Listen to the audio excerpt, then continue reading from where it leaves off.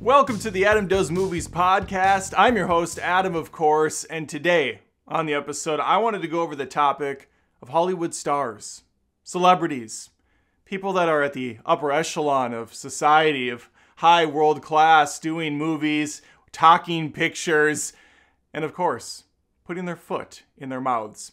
They're just like us. They really are. I mean, they're they're us, but with all the money and uh, all the power and things at their disposal that would make them um, their true self, I guess. Uh, oftentimes, people look at celebrities and say, you know, I can't relate to this person. They're completely out of touch with the, the common man and I understand that to a point. A lot of them have grown up now at this point, nepo babies. Their mom or dad was in the acting business. They they grew up in Hollywood, so they really only know what they know from uh, you know the experiences that they've lived, which typically is in a mansion surrounded by like-minded people. But there are plenty of stars that came from nothing that rose the ranks, that, that climbed on the shoulders of their fellow man and sprung ahead to become A list celebrities. And those are the ones I find more interesting.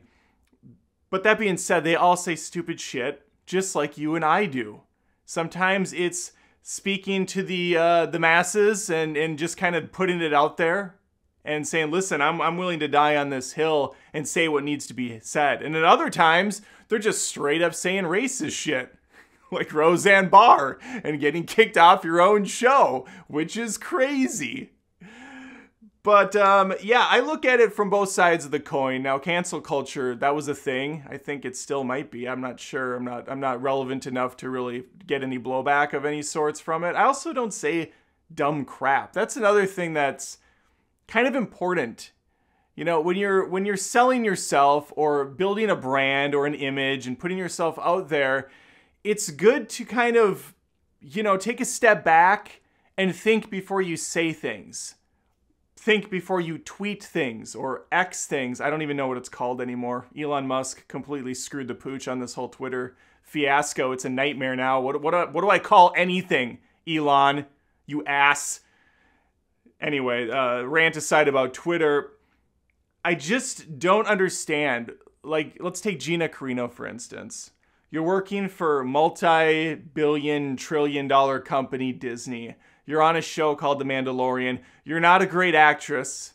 Let's put that out there, and that's fine. There's plenty of actors that aren't great either, that have, you know, S- Stallone, Schwarzenegger, Jean Claude Van Damme, uh, Steven freaking what's his name? Who's the guy that always fights um, walruses and uh, the uh, Steven Seagal? Remember that gem of an actor?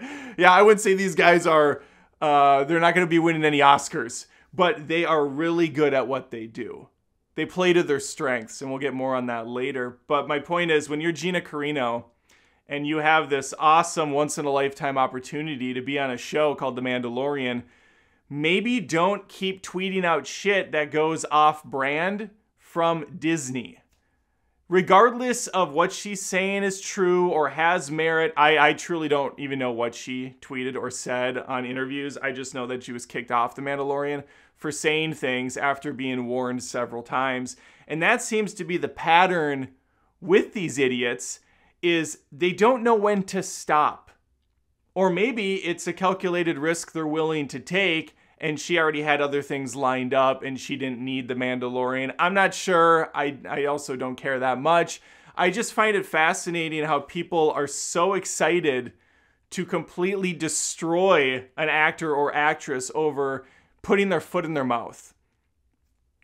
I, I mean, I do see this on my channel, even, which is by no means, you know, a huge, popular, successful hit show. It's just you know, I put out videos constantly, so I'm going to get blowback. I'm going to get pushback when I say something that, um, you know, is is incorrect. Maybe I flub the name of an actor or actress, which is very commonplace for me, or perhaps I get the date wrong, or I just have a take that's different than others.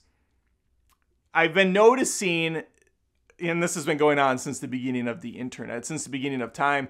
I notice people will go out of their way to say really shitty things just to prop themselves up because their life isn't that interesting. They're a sad individual, they have nothing going on. So, the easiest way to cling to some sort of value, I guess, is to devalue someone else, to put them down, to check them. I have never in my life gone on a YouTube channel and started talking shit about the creator. I don't even I don't even know how you get in that mindset. I fully understand going and watching a video, not agreeing with the person and saying, "Hey, I think you're wrong and here's why."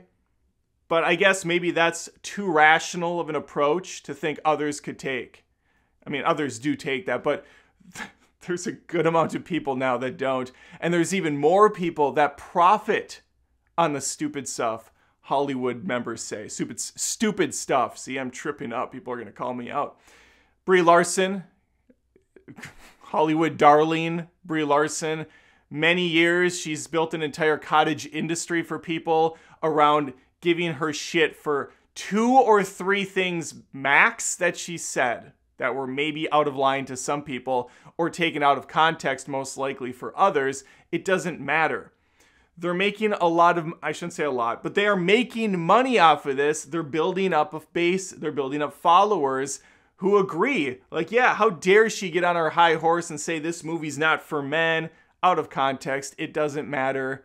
She said something, it was stupid and people are going to call her on it and then they're going to keep calling her on that same thing over and over. Well, now we have the newest flavor of the week, Rachel Zegler. I'm sure I said that wrong. She was in Shazam 2. She was in that Spielberg film that I don't think many people saw. It was a remake. What was that called? I should look it up quick. Uh, Rachel Zegler, IMDb. I'm gonna kick a West Side Story. Yeah, Spielberg's West Side Story. It's it's Nobody saw it. It's crazy. I still haven't seen it. I heard it's amazing too, and I heard she's really good in it. What she's not good at is um, speaking publicly about the new film Snow White that no one asked for. She's going to be in that. She's Snow White. Rachel Zegler, Snow White. It just makes sense for Disney.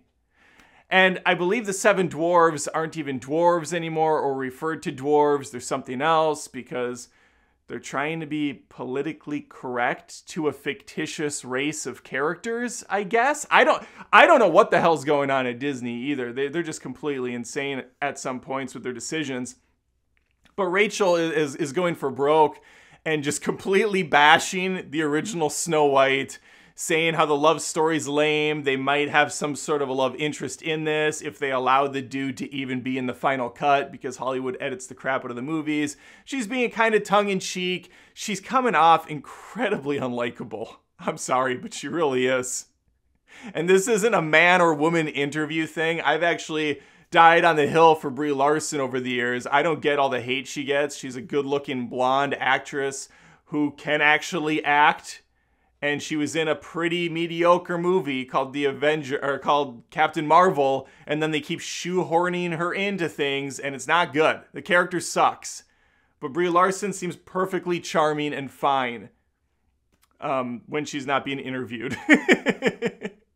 Rachel Zegler, though, uh, I, I'm not getting good vibes from this actress. She's really aggressive with her thoughts on Snow White a property I don't give two shits about, and I think most people have kind of moved past. So it, it's like there are these hot takes that she's putting out that no one asked for, but people certainly seem to be upset about. So we're seeing just, I mean, I'm seeing in my feed hundreds and hundreds of TikTok reactors holding up their stupid little microphone and going off about Rachel Zegler's comments. How dare you? How dare you? Attack this movie.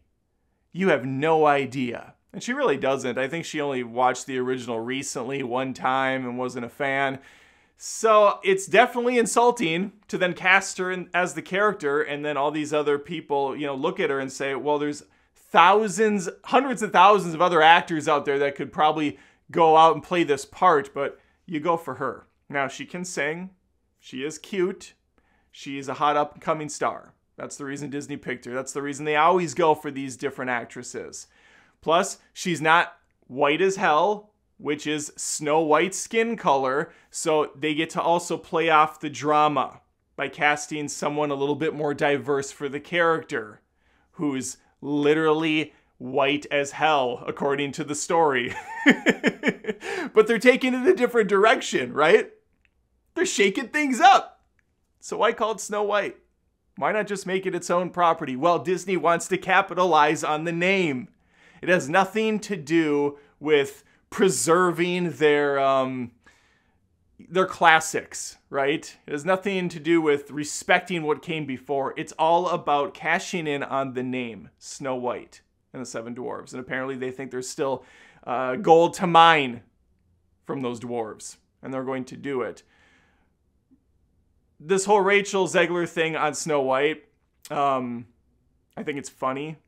I think she said some stupid shit, but I'm not going to come out with 35 videos on the topic and blast her and act all offended and clutch my pretend pearls like a lot of these other channels are doing because it's a great way to get eyeballs on you and get people to, you know, working people up over things that don't matter in the slightest is just the epitome of the last several years, isn't it? That's really the the bread and butter of online and people that truly have too much time on their hands and really are, I think, a little bit privileged in that respect. If you can get up every day, go on YouTube and get pissed off that an actor said something stupid, something's going right something's going right in your life.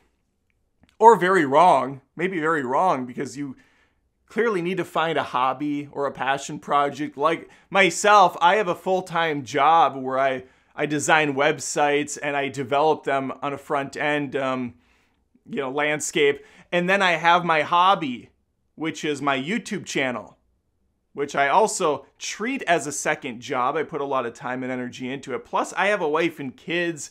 I work out every day. Like I, I feel like I'm a well-rounded individual.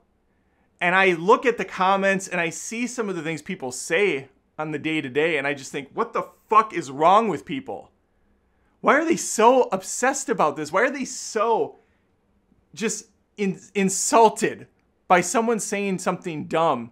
Here's the hard, cold truth about actors they are legitimately the exact same as you and I they either got incredibly lucky landing a role. Well, that's always in play. Getting incredibly lucky and getting the role, that that's it's a needle in a haystack situation unless you know someone in the industry or your dad is Sylvester Stallone or uh, Uma Thurman or whatever you are really going to have to to to put it all out there every single day to try to land a role and um, yeah, that that's that's a dangerous game. I never went down that road because I just I couldn't see myself living out of a car or trying to be a waiter while also auditioning for roles. Incredibly hard, stressful, stressful, stressful situation. This is why a co-host helps once in a while to keep me from stumbling over my own stupidity.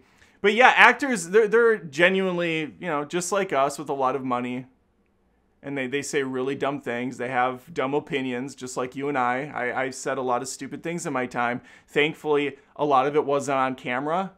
Opinions change over time. There's lots of celebrities that 10 years back were not near as progressive as they claim to be today, or they maybe really are progressive today, but they weren't last week.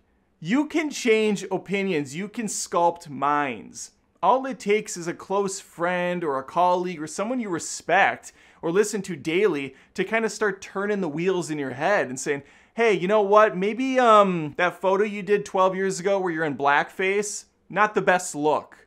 Maybe you should try to remove that from your, your timeline and throw out an apology if you want or just let it go. But then on the other hand, you have these miserable individuals these sad sacks of shit that will go out of their way to comb through your entire history. Again, I'm talking about going through celebrity history, not mine. Nobody cares about me. And finding that photo that's distasteful, finding that tweet from a decade back, finding that post on Facebook you said at three in the morning when you were really upset and didn't really mean it. And they will use that shit against you, they will target you with it. Rachel Zegler's throwing it all up front. She's showing exactly who she is. She's saying exactly what she thinks. She's not hiding it. So, in that respect, uh, you know, fair play. I like that a lot more than I like the person that says something but is doing something completely different. That's the person I don't care for. Uh, Rachel says some dumb stuff. That's fine. That that's her prerogative, Bobby Brown. I don't have any any issue. What she said, I don't agree with. But but you know the fact that she's saying it, okay, we'll see where that takes you in Hollywood. We'll see where you end up off of that. I think that Disney sits back on stuff like this and goes, okay, let's see if this bad press is good press for us. They have not had some wins lately, they've had a lot of losses. Their shows are not doing well. Their movies have been bombing lately. Indiana Jones lost a ton of money. I think Elemental broke even. It might have actually started making money, and that was a good film. I enjoyed that. I think word of mouth really helped take that forward. Haunted Mansion, there isn't a chance in hell that made a dime. I bet that lost quite a bit of money. There's several others that aren't jumping to the top of my head, but I know they're out there. And um, yeah, so this Rachel stuff, maybe they're looking at it and thinking, well, controversy might spring spring some people going to the theaters to watch this. I don't know. I haven't seen a single thing about Snow White. I don't care about this movie. It's probably going to be hot trash because all these live action remakes range from competent to pretty awful with maybe one diamond in the rough, but for the most part, they're just rough. And this isn't going to change. I think that um, because we do have this outrage culture and people are enjoying watching and listening to people get freaked out about stuff, that it's just going to get worse and worse. Anytime someone says, anytime someone steps just a little bit out of line, they're going to try to cancel them or they're going to freak out at them. And then they're going to claim that it's awful when it happens the other way around, right? Like, you know, so and so made a movie about this and they stand by this, but they're getting thrown under the bus and they're trying to cancel him because he believes in this God or he goes to this church or, you know, the he's against this or that. And then they'll turn around and they'll try to cancel someone else for something that they don't agree with. It's stupid on both sides. I hate it. And it won't change.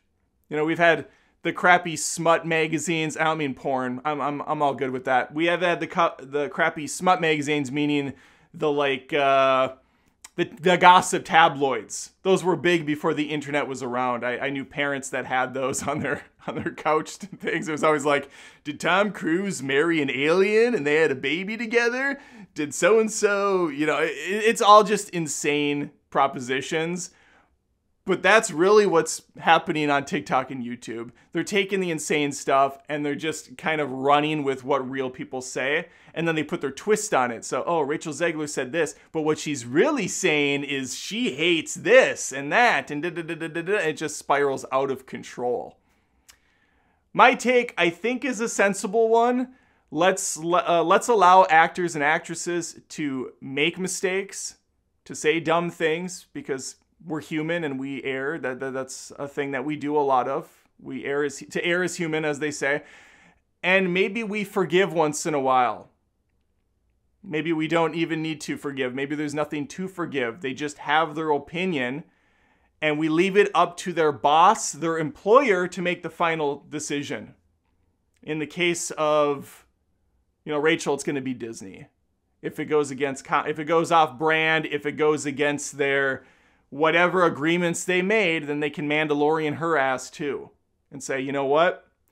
We warned you. You're still putting out stuff that goes against how we feel as a company, the stances we take. You do not represent us in the best light. And since we do pay your bills, you can you can show yourself out because you're done. And uh, yeah, we'll see. I don't think that's going to happen.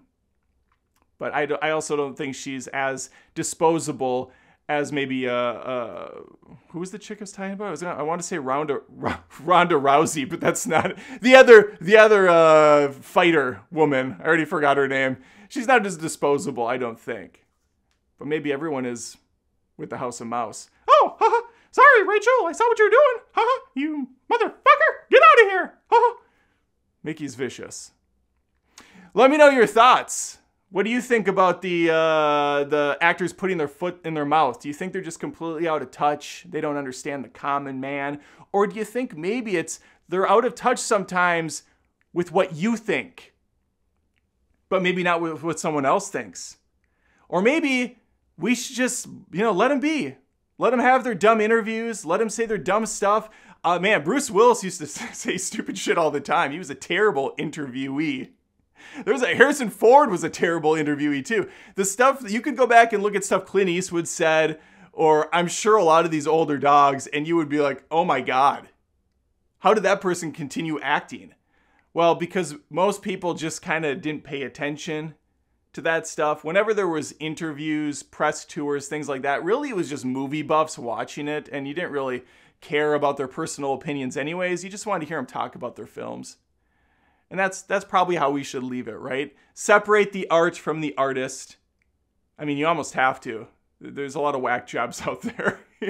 you wouldn't you wouldn't be able to enjoy anything if you were keeping a checklist of the bad people in Hollywood or just in general. You wouldn't enjoy anything. Okay, let me know if you're on YouTube. Leave a comment, please. Like the video if you like the video, and subscribe if you're new here. I would love to have you stick around. If you're on Spotify or Apple Podcasts and you stumbled on that for the first time, subscribe as well. I would love to have more ears on the show as well. All right, thanks for watching, and hopefully, I'll catch you next time.